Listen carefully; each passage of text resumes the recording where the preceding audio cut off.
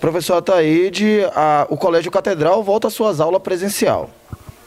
É isso mesmo, nós estamos com um projeto idealizado pela coordenação pedagógica, juntamente com os professores do Colégio Catedral, onde os alunos do Colégio Catedral vêm aqui no colégio uma vez por semana no contraturno, durante duas horas, para participar de uma série de atividades lúdicas. Né? O objetivo desse projeto é justamente propiciar a interação com esses alunos né, que, por conta da pandemia, ficaram muito tempo afastados em casa. Né? As aulas aqui no colégio estão, estão acontecendo na modalidade remota e a ideia é trazer esses alunos uma vez por semana para que eles participem dessas atividades, né, objetivando aí a saúde mental dos alunos. Professora Ataíde, além dessas atividades, o Colégio Catedral realiza outras atividades pensando na saúde mental dos seus alunos?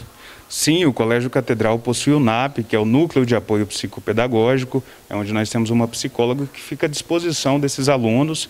Então, basta com que eles façam o agendamento e ela vai é, estudar a melhor maneira de conversar com eles né, e, de, e, e fazer esse atendimento justamente é, priorizando a saúde mental deles. Como que está funcionando esse projeto?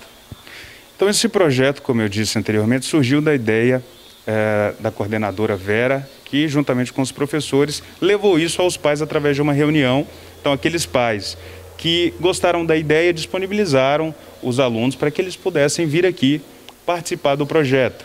E lembrando que está sendo respeitado todas as normas de saúde exigidas pela OMS. E é obrigatória a presença dos alunos no colégio? Não, não é obrigatório a presença dos alunos. Né? Apenas aqueles pais que liberaram os filhos para vir é que estão efetivamente participando. Aqueles que os pais acharam por bem não deixar os alunos participar do projeto não serão prejudicados. Sim, nós estamos respeitando todas as recomendações da OMS, né, todas as, atividades elas é, são feitas aqui no pátio, então não tem contato físico, sempre com o uso de máscara, de álcool em gel. Essa foi uma preocupação, é, uma das preocupações principais da